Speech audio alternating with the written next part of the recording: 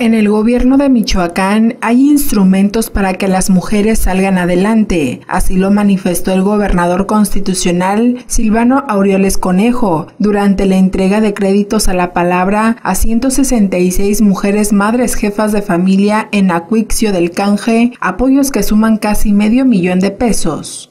En la plaza principal de esa localidad y ante las beneficiarias, el mandatario estatal aseguró que el gobierno del estado cuida a las mujeres michoacanas y prueba de ello es el crédito a la palabra y la implementación de diversos esquemas en beneficio de ese sector de la población. En el acontecimiento, recordó que la meta establecida dentro de este programa es colocar 100.000 créditos durante este año, apoyos que dijo servirán para que las madres jefas de familia hagan frente a los diversos compromisos que tienen. La meta que nos hemos planteado son 100.000 apoyos, 100.000 apoyos este año para jefas de familia.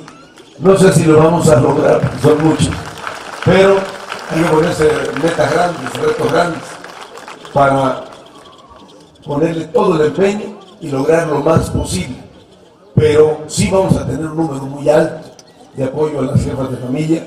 Silvano Aureoles lamentó que en la actualidad se sigan presentando casos de violencia contra este sector. Pero nosotros necesitamos que las mujeres tengan herramientas para defender sus derechos. Por eso necesitamos que las mujeres se sientan seguras, que sepan que tienen quien las apoye, que hay instrumentos para salir adelante y para construir mejores condiciones de vida. En ese sentido, pidió a las legisladoras locales y federales etiquetar más recursos para que este programa tenga más beneficiarias. Por su parte, la secretaria de Igualdad Sustantiva y Desarrollo de las Mujeres, Fabiola Alaní Sámano, explicó que los proyectos de crédito a la palabra van desde los mil hasta los cinco mil pesos, con interés cero y un plazo de pago de hasta seis meses sin garantía ni aval, solamente con el requisito de ser jefas de familia.